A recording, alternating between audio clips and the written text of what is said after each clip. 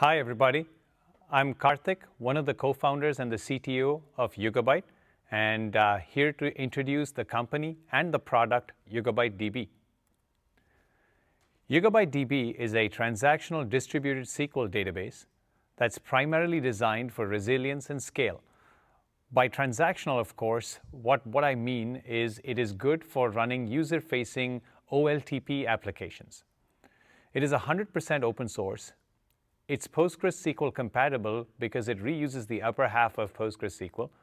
It's an enterprise-grade RDBMS, and it's built to run across all of your cloud environments. Why do we need another database? Well, the question we get asked the most, or we got asked when we started the company and building the database, is there's 200 databases out there. Why build the 201st? Well, hold that thought. The first thing is that we have to realize that's changing is that business innovation is putting pressure on traditional systems of record. These transactional database systems of record now need much more skill and elasticity in order to uh, drive the applications on top. Uh, the customers, on the other hand, always expect the data to be real time, close to wherever they are so that they get low latency responses and always on, whether you have failures, outages, or operations. You also have uh, regulatory requirements like GDPR that force you to think in terms of geographic distribution and partitioning of data. Cloud native architectures, as people are moving towards them, demand flexibility because failures are the norm and expect resilience. Traditional licensing models to get all of this accomplished gets very expensive, represents lock-in, and is proprietary. Existing systems of record were also not designed for the rapid iteration that's required in a cloud-native application, and there's also a strategic need for enterprises to maintain cloud vendor independence. So, the question then shifts to, how do I achieve horizontal scale without compromising my system of record in terms of uptime or integrity of data? How do I ensure high availability and resilience, whether I'm doing an upgrade, a patch, or, uh, or there's an unplanned failure? How do I deploy and manage services on Kubernetes, bare metal, VM in a public or private cloud? There could also be hybrid deployments that cut across these different clouds. How do I minimize the disruption of moving from a traditional database uh, by not having my developers relearn a completely new API? How do I spend less time managing all of this stuff so I can offer a database as a service internally to folks, to the developers in the company so that I can get agility? The question also comes up as to boosting developer productivity by reusing the known frameworks and ecosystems and modern tools so that they can hit the ground running without having to build a bunch of these or learn new ones. Security is always top of mind in the cloud. So how do I match or exceed the security guarantees of my traditional systems of record in the cloud? And how do I achieve low latency by denormalizing data for applications that require real, uh, like low latency, high performance serving?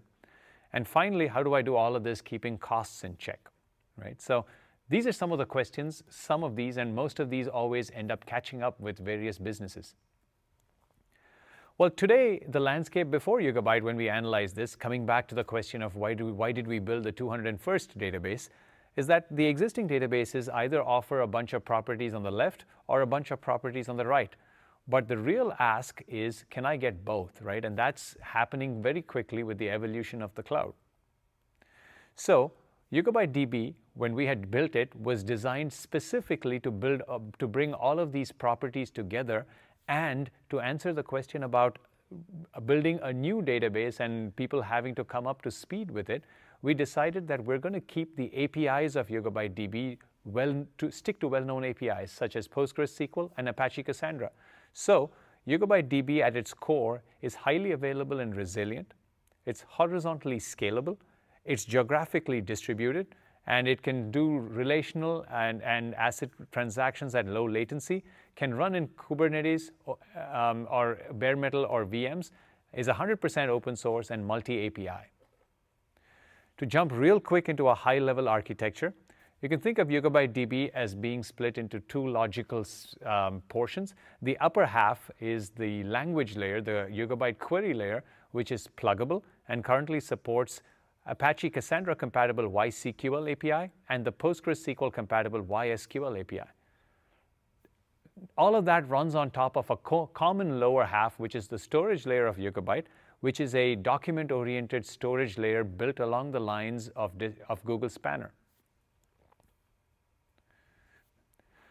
Now, you can see the difference between building resilience through effort as one example. Resi let's take resilience, right? Like building resilience through effort where you hear of a number of outages of databases that were running, that are running in the cloud but were not originally designed to do so, versus something like Yugabyte where one of our users, Plume, that has a massive footprint, a massive number of operations per day on Yugabyte. They do like, you know, 27, 30 billion operations in a single day, uh, dealing with mission business critical data, right? They were able to survive the failure of an entire zone for three hours in an EU region.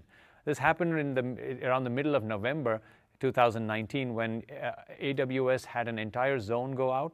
Yugabyte DB was able to detect and survive the failure even before the outage notice was put out and was able to recover even before the recovery notice was put out because software is just far better at doing these types of operations than humans.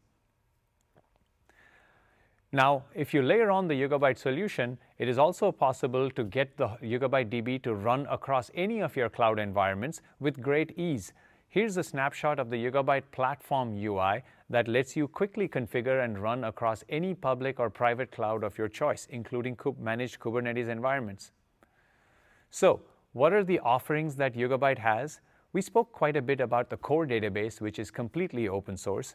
Uh, that the core database called Yugabyte DB is community supported and is fully feature rich, nothing held back in the enterprise. So even things like um, encryption, security, uh, day two operations, eh, like taking backups and restore, all of that stuff is completely in the open source. The Yugabyte platform combines everything that Yugabyte DB has and builds a layer of a UI on top of that, which allows you to click and provision or do so using a REST API, along with operational uh, simplicity, and it's, it's like a packaged database as a service inside in software. It also comes with support.